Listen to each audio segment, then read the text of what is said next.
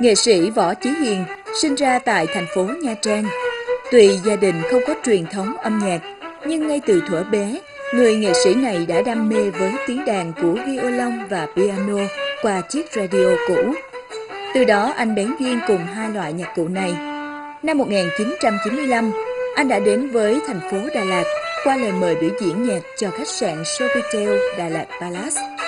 Cảm mến và yêu thích khí hậu, thiên nhiên và con người nơi đây, anh đã quyết định gắn bó với phố núi sương mù cho đến nay. Phần lớn thời gian của mình, anh dành cho sự nghiên cứu tìm tòi về những kiến thức nhạc cổ điển, tiếp tục sự nghiệp với công tác giảng dạy. Là một giáo viên dạy piano và violon, anh luôn tận tụy chỉ bảo cho lớp trẻ những kiến thức mình đã được học, chỉnh sửa cho các em từng nốt nhạc, từng ngón đàn. Đây có lẽ chính là niềm vui mỗi ngày trong cuộc sống của mình. Đôi khi những lúc một mình, nghệ sĩ Võ Chí Hiền cũng đã gửi gắm tâm hồn vào trong những tiếng đàn. Những giai điệu được cất lên dường như là nỗi lòng, là sự hoài niệm về những kỷ niệm xưa cũ. Và có lẽ với anh, âm nhạc luôn là một người bạn đồng hành, là động lực và là niềm tin trong tâm hồn anh.